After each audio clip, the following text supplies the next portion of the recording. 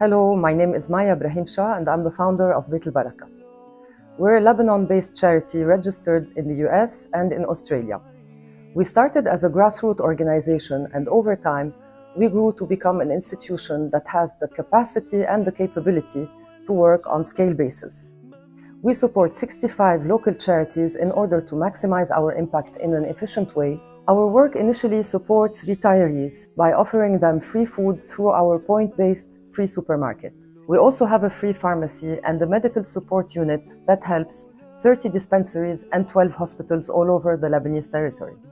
But gradually, we started shifting into an emergency relief organization to be able to adapt to the ongoing crises.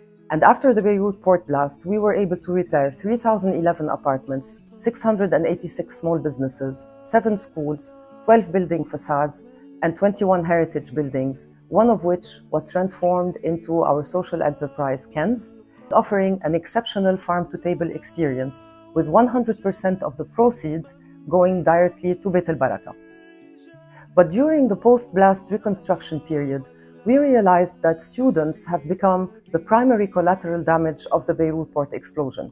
So we decided to launch Fursa as an education program in partnership with Murex supporting 28,765 students in 189 schools. We also partnered with the American University of Beirut's Education Department, and together we launched six computer science labs in marginalized public schools in Beirut.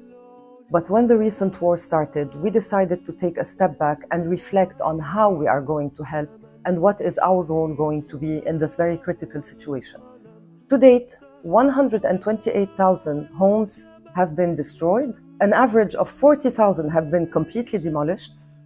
Commercial and industrial losses are tragic. More than 50,000 businesses have shut down. Our GDP shrank from 56 billion to 14 billion. And 80% of southern inhabitants usually work in the agro-industry. And currently, 220 million square meters of agricultural land have been burned. So what do we do?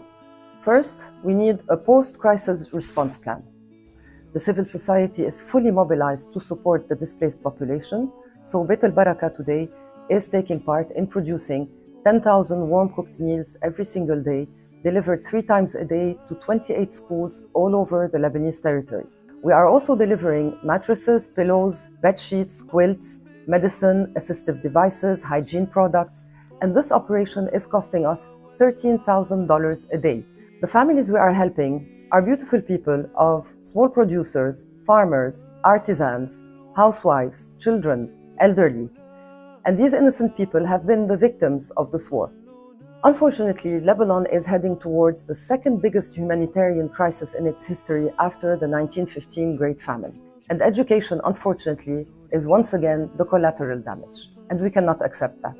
There are 1,130 shelters today 973 out of which are public schools that have been transformed into shelters, leaving 350,000 students unable to resume their education. We are completely alone in this, so Beit al-Baraka can only rely on your donations to be able to sustain this huge operation. Thank you very much for your trust.